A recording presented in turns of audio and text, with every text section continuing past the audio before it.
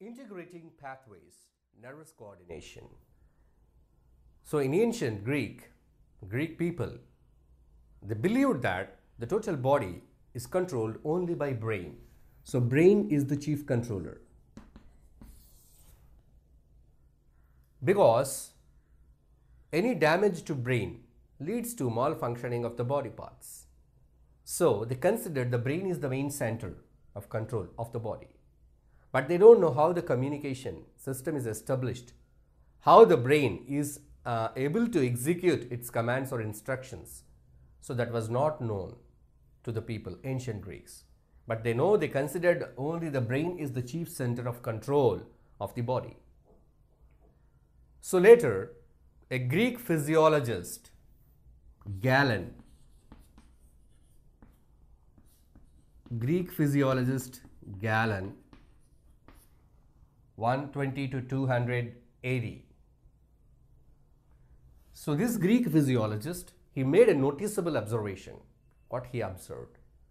He observed one of his patient. He fell from the chariot while traveling. Accidentally he fell down and he got some hurt to his hand. So what happened to that person? What is that noticeable observation? So that person he was not able to feel his hand. Feelings were lost. But he is able to move the hand. That means control is there in the hand.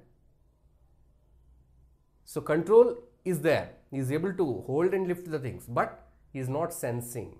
The sensation is lost. So then Galen concluded that the nerves are of two types. They are sensing nerves and executing nerves what we are calling now as sensory and motor nerves. So the motor nerves they help in the execution of the instruction of the brain. Sensory nerves they help in taking the sense, carrying the sense out. So till 18th century, till 18th century the integrated functioning of nerves was very uh, less known to the people.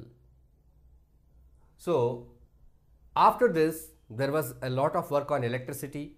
So they were conducting, the physicists were conducting experiments on electricity and finding how the electrical impulses are passed. So all these works, they have given an idea how the nerves are working, how the information, nerve signals are carried in the nerve cells. So later, now we understood that the nervous system, the coordination of the nervous system, the integrated functioning of the nerve cells, how they are connected to the brain and how they established that uh, connection, uh, kind of communication system and how the responses are carried out from the brain. And uh, we know that how the responses are created at the spinal cord and in the brain. There are roles and responsibilities of both spinal cord and brain. So only thing we know very little about the functioning of nerve cell. Still it is to be explored completely the total working mechanism of a nerve cell. We have learnt about that uh, uh, the detailed uh, structure of the nerve cell also now let us look at the nerve cell that is the structural and functional unit of the nervous system. Let us see the various parts and their functions. So now the nerve cell is the structural and functional unit of the nervous system. Before we study the functioning of the nerve cell, how the nerve cells are helping in the communication process, let us understand the structure of the nerve cell. If we observe the permanent slide of a nerve cell, we can identify different parts. A nerve cell has got a cell body.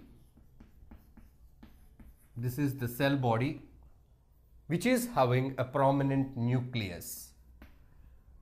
So every neuron has got a cell body which contains a prominent nucleus.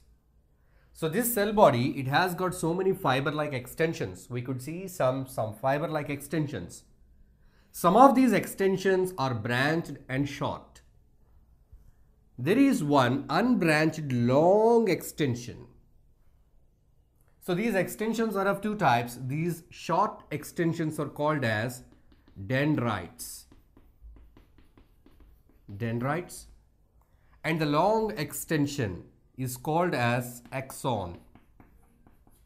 Axon. And we can observe one more difference here between the dendrites and axons. They are short and branched. This is unbranched and very long. And it is covered or wrapped by some special sheath called as myelin sheath.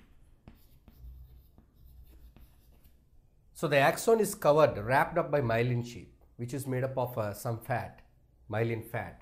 So that this myelin sheath but it is not completely wrapping as a single layer.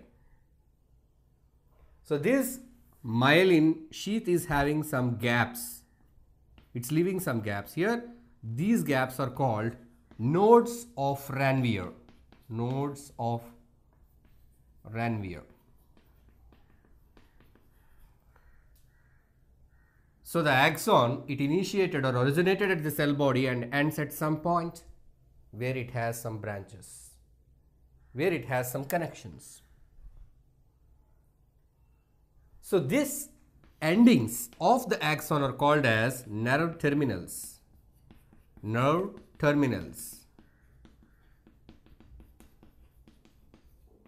So these are the nerve terminals and here you find some knob-like structures in the nerve terminals called as synaptic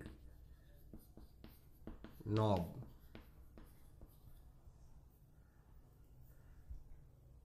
So these are the major parts of a nerve cell. Sometimes the some of the axons of the nerve cells are not myelinated, but in most cases the nerve cells are myelinated. So this is the basic structure of the nerve cell. And we also find some kind of granules inside the cell body of a neuron. We call it as Nissl granules. Nissl's granules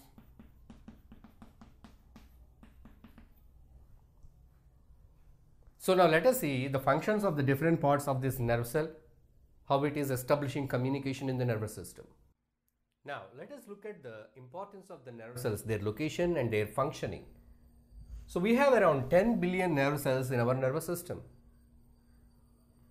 So in the nerve cells, the cell bodies of the nerve cells are located either in the brain or spinal cord spinal cord or close to spinal cord two regions called as ventral and dorsal nerve ganglion or root ganglion. So at these places root ganglion.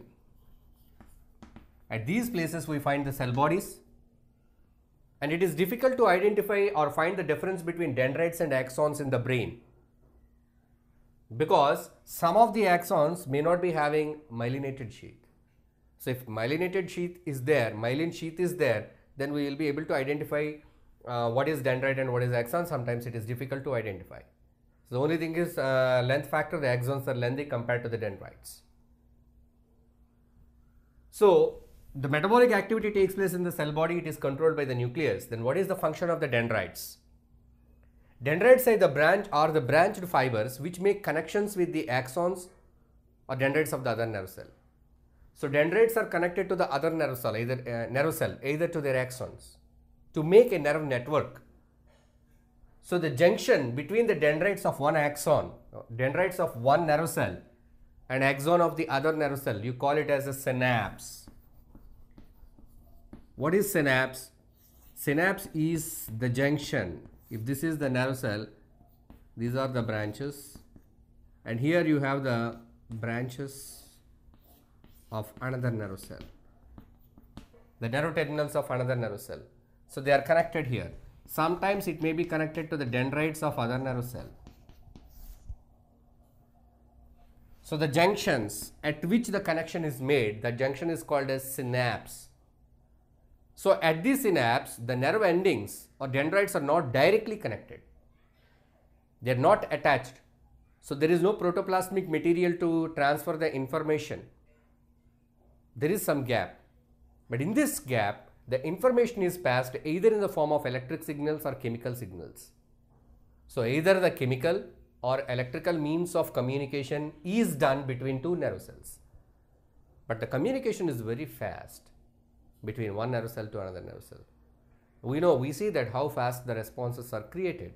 So that information is passed very quickly and the junctions between one nerve cell and another nerve that is a junction called a synapse at synapse either chemical or electrical signals or pulses are passed to communicate. And these synapses are mostly found in the brain or spinal cord. In other parts of the body, there is no junctions. The other part of the body, the axon is running continuously to the end organ, to the effector organ. Now let us see the different types of the nerve cells. There are different types of nerve cells in our body. Mainly there are two different types. They are sensory nerves and motor nerves. Let us see.